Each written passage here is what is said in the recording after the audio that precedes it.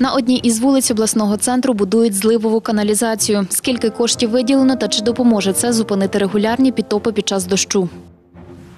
Військові облігації, вкладення в Збройні сили України. Чи інвестують хмельничани? Ламали двері, щоб зайти до церкви. Православні християни села Андрійківці Росошанської громади отримали документи про створення незалежної релігійної громади. Це вулиця Зарічанська під час сонячної погоди. Під час злив влітку її затоплює, що створює труднощі з рухом як у водіїв, так і у пішоходів. З 2021 року тут будують зливову каналізацію. Дощова вода стікатиме у водовідвідну канаву і тим самим звільнятиме вулицю від потопу, розповідає виконувач обов'язків начальника управління комунальної інфраструктури міста Василь Кабальський. Там протяжність е, 360 е, погонних метрів даної канави. Вартість робіт в поточному році складає 4,8, ну, майже 5 мільйонів. Ремонтні роботи із відновлення дорожнього покриття планують завершити до кінця серпня, говорить майстер виконроб Володимир Манзелевський. прокладуються значить, труби ливньовки. Через певний період, через певну відстань прокладуються, установлюються колодці смотрові, щоб в процесі можна було продивитися, проконтролювати деякі засори і все остальне. Майстер виконроб говорить, зливова каналізація має звільнити від води й підвали прилеглих будинків, які також може затопити під час зливи. А цей підвал житлового будинку знаходиться за кількасот метрів від місця, де ведуться ремонтні роботи. Мешканці використовують його і як тимчасове укриття на випадок тривоги. Земля у підвалі зараз волога, а під час зливи вода підіймається до 15 сантиметрів, розповідає його мешканка Галина Гутник та показує щитову з електроприладами, яку періодично підтоплює. Каже, з проблемою звертались до міської ради. там той колодязь, який є на дорозі, він не справляється і вода повертається до підвалу. Була і відповідь, і там написано, що потрібно добудовувати допоміжний колодязь, тому що вода не ви в низині, а вода не справляється. Укриття ми зробили, але там каналізація підтоплює укриття і під час тривоги, що куди нам ховати, що у воді стояти. Під час дощів так само топить і саму ділянку вулиці, каже Галина Гутник. Відколи тут проживаю вже 34 роки, то дійсно в чобітках йдемо, а машини зупиняються. Діана Колесник, Світлана Крентовська. Новини на Суспільному. Хмельницький.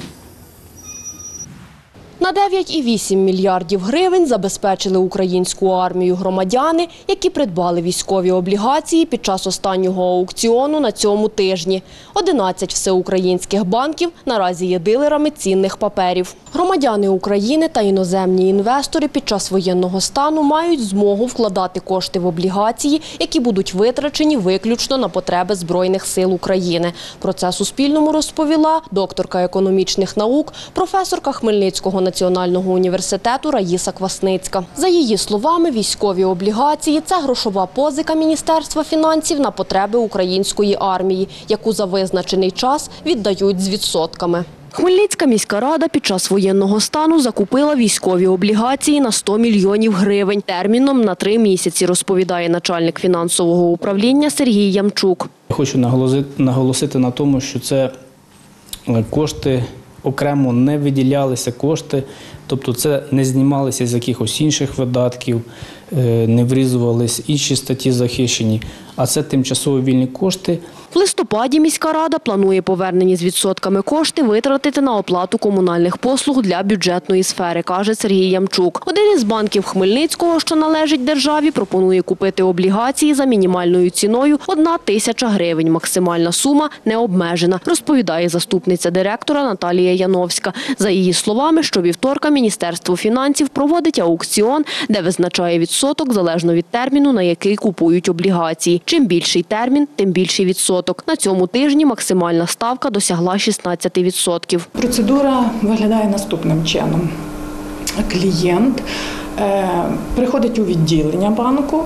Е, Для цього потрібно мати собою паспорт і код, е, вибирає суму, термін, на яку він хоче розмістити чи придбати військові облігації. Інший державний банк пропонує облігації за 100 тисяч гривень мінімальної ціни, розповідає телефоном його речниця Наталія Макаренко. Мінімальна сума з купівлі облігацій складає 100 тисяч гривень, бо це угода з облігації є дуже складною та зарегульованою, але банк проводить роботи із спрощення процедур і намагається автоматизувати ці процеси та плідно співпрацює над можливістю зниження цієї мінімальної суми інвестування. Під час інвестування держава виступає гарантом вчасних виплат з відсотками, тому такий спосіб вкладення коштів є надійним. Крім того, відсоток є вищим, ніж звична депозитна ставка в банках, розповідає докторка економічних наук, професорка Хмельницького національного університету Раїса Квасницька. Що стосується е, оподаткування, вигідність наступна. Е, згідно закону України, е, податкового кодексу України, усі доходи, які отримують е, від вкладення в е, облігації внутрішнього займу в країні, і в тому числі військові облігації, не оподатковуються. Ще одна вигідність, що якщо плануєте вкладати, під час воєнного стану не перевіряється джерело коштів. Під час купівлі військових облігацій однакові права мають як фізичні, так і юридичні особи. Терміни збереження у гривнях від двох місяців до двох років, в доларах від трьох місяців до року, у євро від восьми місяців до року. Діана Колесник, Ярослава Антошевська, Віктор Кривий, Іван Мовчан. Новини на Суспільному. Хмельницький. Під час виконання бойового завдання загинув воїн з Хмельниччини Дмитро Миськов, військовий 1998 року народження, родом з села Завалійки Хмельницького району. Цю інформацію підтвердили у Вітовецькій об'єднаній територіальній громаді. Загинув військовий внаслідок мінометного обстрілу 23 червня у Донецькій області. Додають, з початку повномасштабного вторгнення Росії в Україну Дмитро пішов добровольцем на фронт. Про дату та час проведення поховання героя буде повідомлено додатково на сторінці Вітовецької об'єднаної територіальної громади. Станом на 29 липня від початку повномасштабного вторгнення Росії у бою з українськими захисниками загинули 40 тисяч 500 російських військових. Противник втратив 1749 танків та 3987 бойових броньованих машин. Збройні сили України знищили 900 артилерійських систем та 258 реактивних систем залпового вогню. Від 24 лютого українськими військовими знищено 222 літаки, 190 гелікоптерів та 174 крилатих ракет. За 156 днів повномасштабного вторгнення Росії на територію України ворог втратив 15 кораблів та катерів.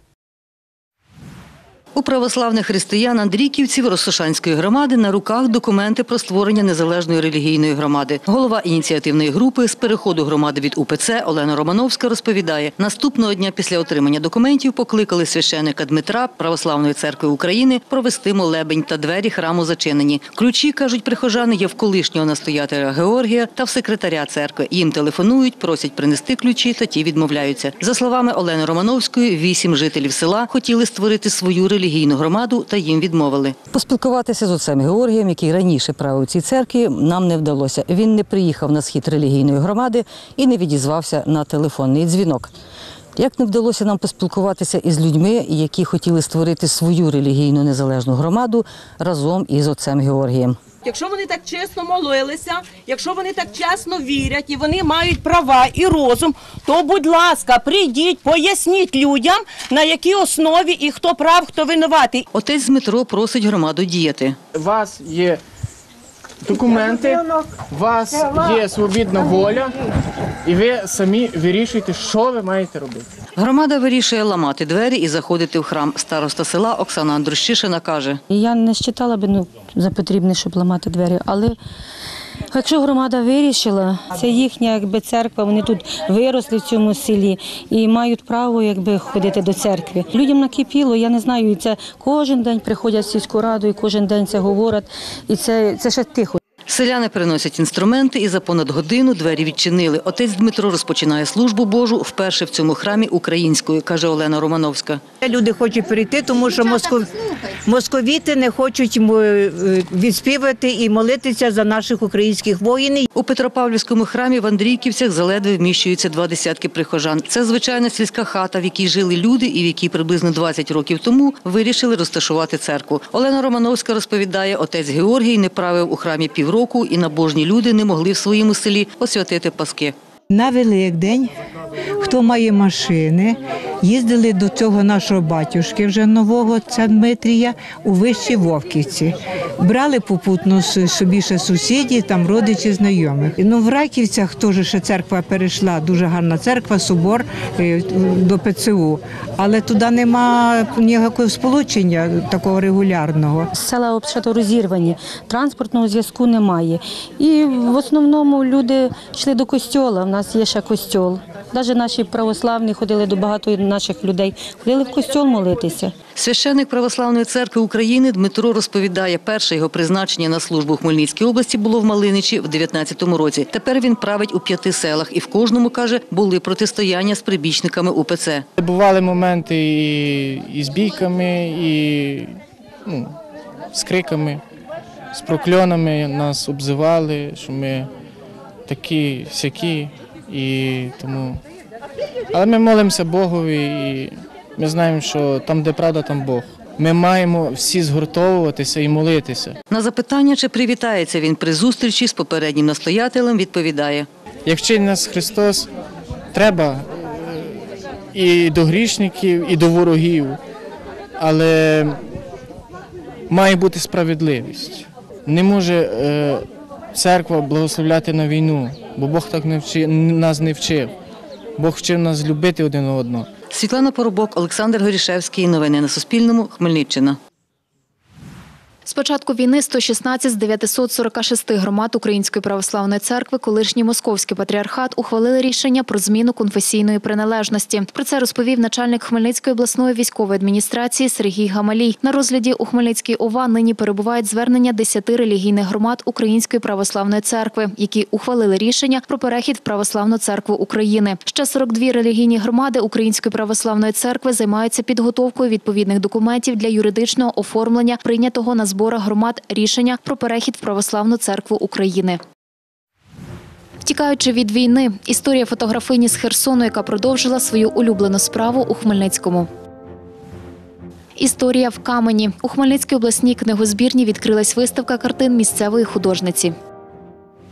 З перемоги дебютувала на чемпіонаті Європи в Данії хмельницька веслувальниця Анастасія Дежицька. Дистанцію в 11,8 кілометрів вона здолала за годину 9 хвилин і 6 секунд. На друге місце 17-річна переможниця відправила спортсменку з Угорщини. Бронза дісталася веслувальниці з Іспанії. Один із тренерів Анастасії Дежицької Микола Кушта розповів, перепусткою на європейську першість стала перемога його вихованки на цьогорічному чемпіонаті України в Вінниці. До нього каже, готувалися тиждень. На чемпіонат Європи ж збиралися в посиленому режимі тренувань. До 10 тренувань на тиждень спортсменка робила. І вже більше йшли на такі на довгу дистанцію роботу робили, щоб підготовити. Розписується специфічна робота, яка підготовлює спортсмена до саме такої довгої дистанції. Двічі на день це 9 ранку і 5 вечора тренування. Тут йде і загальна фізична підготовка. Вона веслує в каное, там це співпраця лодка, весло і спортсмен, і це все треба якось відчувати. Синхронна робота, техніка, виконання. Робота в нас була і така як на часу. Так як це перший старт, ми ну не знали на що орієнтуватися. Спортсменки це все для неї нове. На Україні приблизно ми знаємо, хто і як веслує там. Приблизно який наш рівень, на що ми можемо на якій дистанції розраховувати. Чемпіонат Європи з веслування на байдарках і каное з марафону триватиме до 31 липня. Перемога на континентальній першості дозволить спортсменам поборотися за світове золото. 24 лютого Надія Круглікова мала б готуватися до святкування дня народження її 12-річного сина Данила. Втім, росіяни ці плани зруйнували. Зранку все вже було видно, ну, ту сторону, Олешки, і видно було, як там горить. А в обід полетіли вертольоти. Я таку кількість в своєму житті ну, не бачила. Це як рой. Надія швидко зібрала теплі речі та разом з чоловіком і двома дітьми виїхали з міста. Спочатку зупинилися в Умані. Там вони і відзначили день народження сина. А вже наступного дня поїхали до Хмельницького. Найкоштовніша річ, яку родина взяла з собою з рідного Херсону фотоапарат. Добре, що чоловік взяв з собою фотоапарат.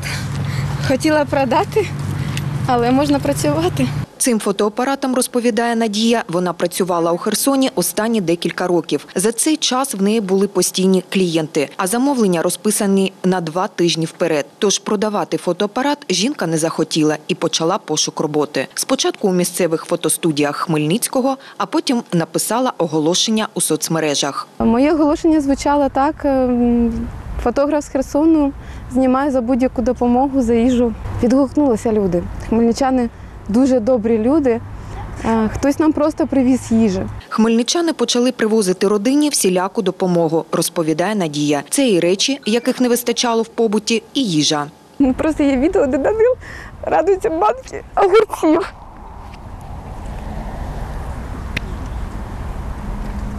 Вдома все було. А тут ми бомжі. Які виїхали, не знали, що брати, що ми виїдемо. Ми просто були в шоці, ми сіли і поїхали. Все. У Хмельницькому родина живе в орендованому житлі. Чоловік знайшов роботу. До Надії також почали надходити замовлення. Під час зйомочного процесу, каже Надія, хоче вловити найголовніше емоцію. Головне, щоб це була не просто фотосесія, на яку прийшли люди, стали, зробили декілька ф- однакових фотографій. Я хочу, щоб це були живі кадри, де в них є емоції. Зараз в Надії є декілька замовлень. Її вечори проходять з фотоапаратом в руках. Вона не жаліє, що чоловік випадково кинув його в сумку. Каже, завдяки ньому вона не лише може заробляти, а й відволікатися від зайвих думок. Олена Коновалова, Олександр Горішевський. Новини на Суспільному. Хмельницький. Це будинок 68. Е, Робота має назву е, Вікно, де пам'ятають, люблять і чекають. Мені здається, кожної людини хотілося б, щоб її пам'ятали, любили і чекали. Якось поверталася по цій вулиці е, ввечері і побачила це віконечко. І мені щось такого от, в- натхнення саме на цю роботу. Онук Нелі Павлової Роман каже, аби створити нове полотно, бабуся для натхнення має прогулятися містом. Все починається з подорожі. Наприклад, якщо е, Нелі Миколаївна вибирає роботи по нашому місту, якісь архітектурні пам'ятки нашого Хмельницького, то вона е, йде на прогулянку, дуже уважно вивчає візуально цю споруду. І, як правило, це може тривати сам процес малювання і створення цієї роботи може тривати від місяця до декількох місяців. В експозиції, розповідає Нелі Павлова, представила 15 робіт, виконаних у власній авторській техніці. Це архітектура України, живопис і графіка. Графіка це дуже давня моя серія, ще з 2000 року. Живопис це нова серія. І кожна робота має історичну довідку. Е, Мені здавалося, що це цікаво не тільки мені, але й всім. Коли було е, споруджено цей будинок, хто в ньому мешкав і що з ним було далі. Це як е, історія людини, так і історія кожного будинку. Е, В основному Хмельницький та Хмельницька область. Кам'янець, Меджибеш, е, Антоніни, Роботи оригінальні, як їх авторка, розповідає голова Хмельницької міської просвіти Зоя Діденко. Так як е, Нелі Павлова розуміє, розуміє і пропускає через розум, серце і душу історію України взагалі і Поділля, зокрема, ну хай не ображаються на мене інші художники, але це явище таки унікальне. Манера виконання, тематика її це все е, зачіпає тих, хто не байдужий до рідної землі, до рідної історії, до пам'яток архітектури. Будівля побудована 500 років тому, а вона може так якось у неї унікально виходить, показати всю важливість того, що є перед нашими очима. Переглянути експозицію картин Нелі Павлової можна до 31 серпня. Тетяна Ворожцова, Юрій Чорний. Новини на Суспільному. Хмельницький.